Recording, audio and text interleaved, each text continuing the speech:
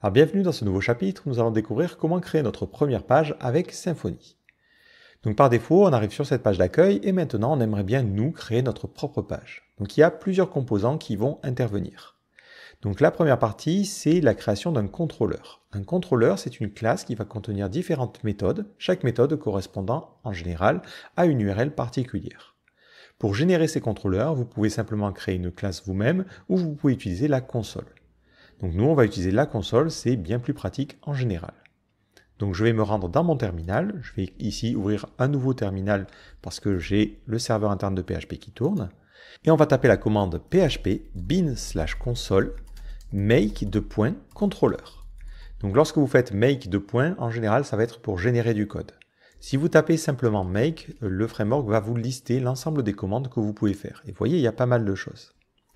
Donc nous, on va faire make de point contrôleur, et ce contrôleur, on va l'appeler le home controller, parce qu'il va permettre de gérer notre page d'accueil. Automatiquement, ça crée deux fichiers, le fichier homecontroller.php, qui est une classe PHP, et un fichier twig, qu'on l'on verra un petit peu plus tard.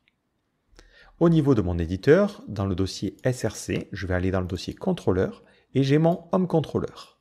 Alors pour l'instant, il est rempli de plein de choses, donc ce qu'on va faire, c'est qu'on va complètement effacer le code, et on va simplement, nous, repartir d'une classe simple. Donc un contrôleur, comme je vous l'ai dit, c'est simplement une classe qui va contenir des méthodes et chaque méthode va correspondre à une page. Donc on va créer une première méthode que l'on va appeler index et qui sera notre page d'accueil. Les méthodes dans les contrôleurs, elles doivent toujours renvoyer une réponse. C'est un objet qui provient de Symfony. Ça a été automatiquement importé ici. Donc attention, il y a plein d'objets réponses, il ne faudra pas les confondre. C'est cet objet-là qu'il faudra retourner. Donc là, je type directement ça et je vais retourner une nouvelle réponse. Cet objet, lorsqu'on le construit, on lui passe en premier paramètre le contenu. Donc nous, on va mettre ici bonjour les gens. Et ensuite, en second paramètre, vous pouvez mettre le statut, puis ensuite les en-têtes. Pour l'instant, on va se contenter de simplement retourner ça. Maintenant, ce home controller, ben, il va falloir expliquer au framework que l'URL racine va correspondre à cette méthode-là. Ça, ça va se faire au travers de la configuration. Donc dans le dossier config, on a un fichier routes.yml. Ce fichier, il est pré-rempli avec ces informations-là. Je vous expliquerai juste après à quoi ça sert. Et nous, on va créer une nouvelle route. Et on utilise donc la syntaxe YAML. D'abord, on commence par donner un nom à notre route. Moi, je vais l'appeler home. Ensuite, on va mettre une première clé qui va s'appeler path. C'est le chemin. Donc je vais dire c'est le chemin racine. Donc je vais mettre simplement un slash. Et ensuite, je vais mettre une nouvelle clé contrôleur et mettre le nom de notre contrôleur. Donc c'est dans le namespace app, ensuite c'est contrôleur, et ensuite c'est notre home contrôleur. Et l'action que je souhaite exécuter, ça va être la méthode index. Voilà. Donc là, j'explique à mon framework que lorsque l'on a l'URL racine, il faut que tu ailles chercher cette action-là. Maintenant, je réactualise la page d'accueil de Symfony, et au lieu d'avoir la page d'accueil classique, j'ai bien mon bonjour les gens. Donc ça, c'est la première manière de gérer les routes. C'est une manière qui peut être intéressante, mais que vous n'allez pas forcément systématiquement utiliser. Il y a une autre partie tout en haut qui est une partie qui permet en fait de dire à Symfony, en fait, tu vas pouvoir scanner les contrôleurs et si tu vois certains attributs, tu peux enregistrer les routes automatiquement. Alors, on va retirer la route que j'ai créée, mais c'est important de savoir que l'on peut faire ça de cette manière-là. Et je vais vous montrer l'autre stratégie. L'autre stratégie, c'est directement au niveau de votre contrôleur, au-dessus de l'action que vous avez créée, au-dessus de la méthode que vous avez créée, vous pouvez rajouter un attribut. Et vous allez utiliser l'attribut route, qui provient de ce namespace-là. C'est celui qui a été automatiquement importé lorsqu'on a fait la commande make de point contrôleur. En premier paramètre, vous allez spécifier le chemin. Donc moi, je vais dire c'est la racine. En second paramètre, vous allez spécifier le nom. Donc moi, je vais par exemple ici lui dire que ça va être homme. Donc je fais la même chose que ce que j'ai fait tout à l'heure. Il y a beaucoup beaucoup de paramètres qui sont disponibles au niveau de cette construction. Donc souvent ce que l'on fait c'est qu'on utilise les paramètres nommés. Ça permet aussi de un petit peu mieux comprendre de quoi il en retourne. Donc là j'ai déclaré ma route au travers d'un attribut. Si maintenant je réactualise la page, on voit que j'ai toujours mon bonjour les gens. Donc ça, ça vous permet d'avoir à la fois l'action et la définition de la route au même endroit. Ça peut être un petit peu plus pratique.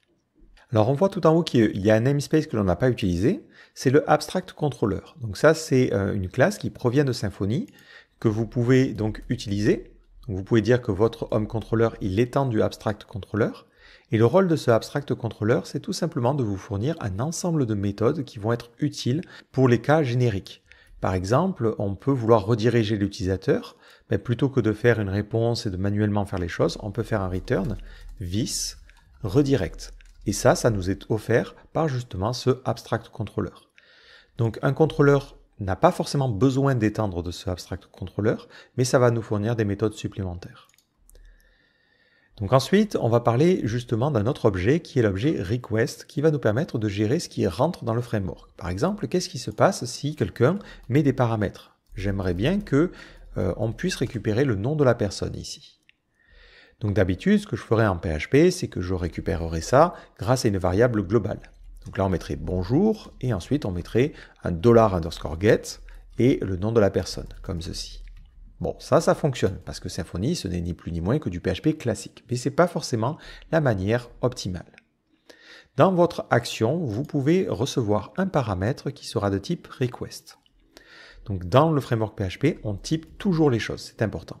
Alors, il y a beaucoup de classes request. Celle qui va nous intéresser, c'est celle qui provient du euh, namespace Symfony Component HTTP Foundation. Donc, faites bien attention à importer request et response de ce namespace-là, pas d'un autre. Et euh, ensuite, bah, si vous voulez récupérer par exemple des paramètres dans l'URL, vous avez sur cet objet request des euh, fonctions utiles. Par exemple, on peut faire request, et vous pouvez vous baser sur l'autocomplétion, hein, c'est ça qui est intéressant avec, avec le typage. Je fais query, et ensuite, sur query, je lui dis j'aimerais bien récupérer le name. Et dans ce cas-là, hop, on voit que ça affiche bien bonjour John. L'avantage, c'est que si ce paramètre venait à ne pas exister, par défaut, il mettrait du vide. Mais on a la possibilité au niveau de get, si je regarde la définition, de mettre une valeur par défaut. Donc si par exemple on n'a pas de paramètre dans l'URL, on peut choisir un nom par défaut. Et dans cet objet request, vous allez avoir tout un tas de trucs super utiles. Alors si vous avez besoin de plus d'informations ou si vous voulez analyser un objet, vous avez deux commandes qui sont intéressantes. Vous avez la commande dump, qui est une sorte de var dump amélioré, et vous avez aussi la commande dd, qui est une sorte de var dump amélioré et qui fait un die derrière. Donc ça vous permet de ne pas exécuter la suite du script. Donc là, par exemple, je vais faire un dd de request. Si je réactualise la page, ça va me montrer cet objet-là. Et c'est très pratique, vous voyez, il y a de la coloration et tout, et on peut voir les, différentes propriétés. Par exemple, si je veux la méthode, ben, je peux récupérer la méthode. Si je veux récupérer les fichiers qui ont été envoyés, ben, j'ai une clé files, et ainsi de suite, et ainsi de suite. Donc cet objet-là va vous permettre d'interagir avec la requête. Donc fini les variables globales, vous allez systématiquement utiliser cet objet request. Alors maintenant, on peut se poser la question comment on va gérer les routes particulières? Par exemple, sur notre système, on s'imagine qu'on aura recette, et ensuite on aurait par exemple path bolognaise l'ID 32. J'aimerais bien arriver à capturer cette route-là. D'abord, je vais commencer par créer un contrôleur qui est associé. Donc je fais un php bin slash console make de point et je vais l'appeler le recipe controller. Il va nous permettre de gérer les recettes de cuisine. Dans ce recipe controller, il m'a automatiquement créé le code qui correspond. Donc je vais aller dans mon recipe controller nous, on va enlever la partie render parce qu'on l'a pas encore vu. Mais vous voyez qu'il a créé la route qui correspond à la racine.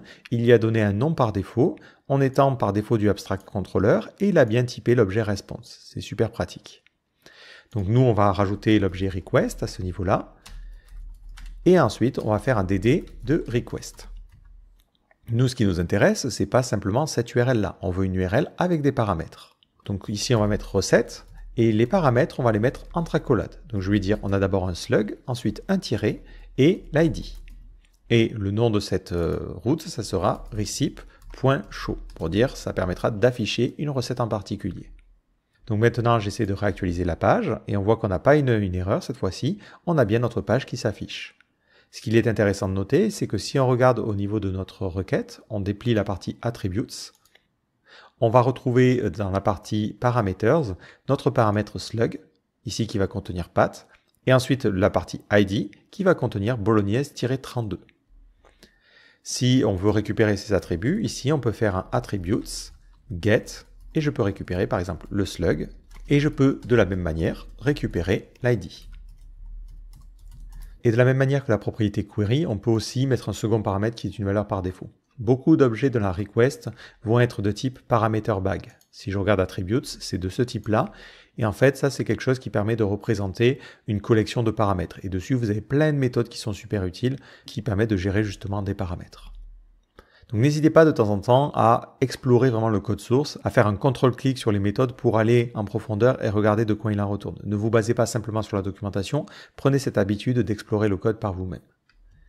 Alors si je réactualise la page, on voit maintenant que j'ai bien mon slug et ensuite l'ID. Le problème c'est que moi je m'attendrais plutôt à ce que pas de bolognaise ça soit le slug et ensuite ça seulement ça soit l'ID.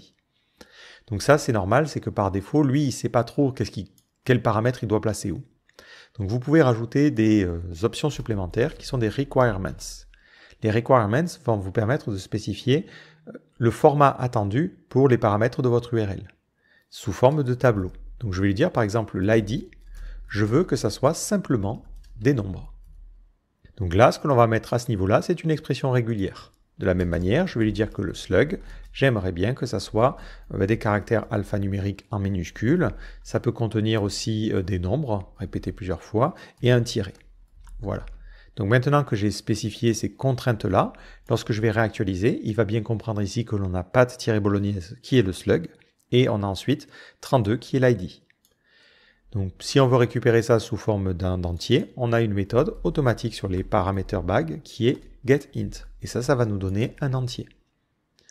Donc voilà comment vous pourriez avoir des URL personnalisées en fonction de votre situation. On met les paramètres dans l'URL, on spécifie les requirements, c'est-à-dire les formats attendus pour ces paramètres, et ensuite on peut utiliser la propriété attribute sur la requête pour récupérer les informations qui nous intéressent.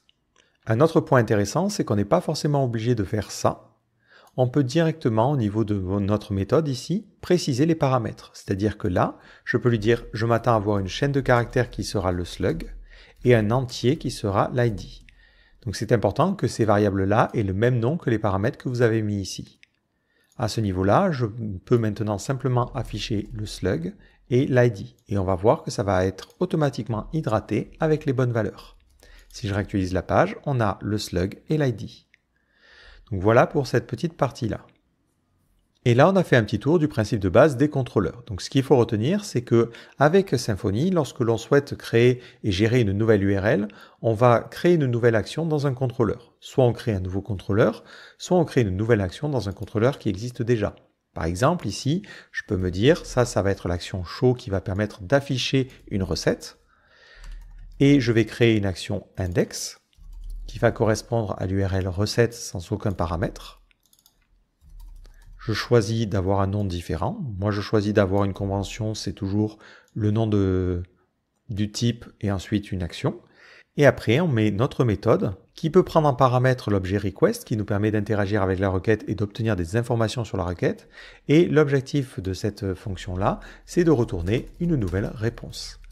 Donc on peut retourner une réponse basique, comme c'est le cas ici. Donc nous, ici, on va juste mettre recette. Et à ce niveau-là, on va mettre return new response. Et on va afficher euh, recette et le nom de la recette. Donc ça sera ici notre slug. Et ça, c'est vraiment l'objet de base. Donc là, ça va me répondre de pâte bolognaise. Mais vous avez aussi, par exemple, un objet qui est intéressant, c'est le JSON response. Donc pareil, ça provient de HTTP Foundation. Faites attention à bien importer le namespace. Et là, vous pouvez lui donner, par exemple, un tableau en premier paramètre. Et automatiquement, vous devinez ce que ça va faire, ça va renvoyer une réponse au format JSON. Voilà, donc on met le point virgule et on ferme ici. L'avantage, c'est que ça va automatiquement mettre les bonnes en tête et voilà, j'ai bien un JSON en retour. Vous avez même dans le abstract controller une méthode qui vous permet de faire ça plus simplement. Vous pouvez faire un return vis JSON. Donc si vous regardez à l'intérieur, bon, ça va faire des trucs en plus, mais à la fin, ça retourne ni plus ni moins qu'une JSON response. Voilà. Donc au final, tous les contrôleurs vont toujours se comporter de la même manière. Une méthode qui renvoie une réponse. Et on a la possibilité de définir les routes directement de manière adjacente avec un attribut ou via le fichier routes.yaml que l'on a dans la configuration. Par défaut, ce fichier routes va automatiquement scanner l'ensemble de vos contrôleurs pour trouver les attributs et automatiquement générer les routes pour vous.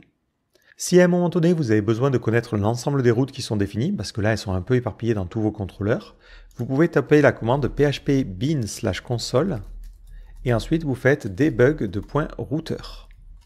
Donc ça, automatiquement, ça va vous montrer l'ensemble des routes de votre application.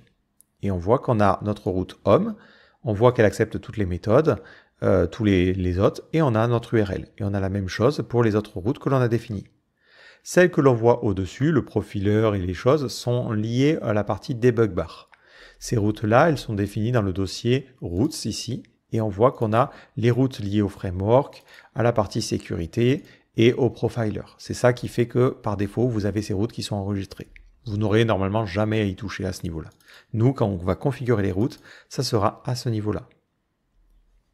Donc c'est bien beau de générer ben, des petites pages comme ça, mais nous, ce qu'on aimerait bien faire dans un site classique, c'est générer des pages HTML complètes. Donc je vous donne rendez-vous dans le prochain chapitre où on va voir le moteur de template Twig qui va nous permettre de générer de belles pages.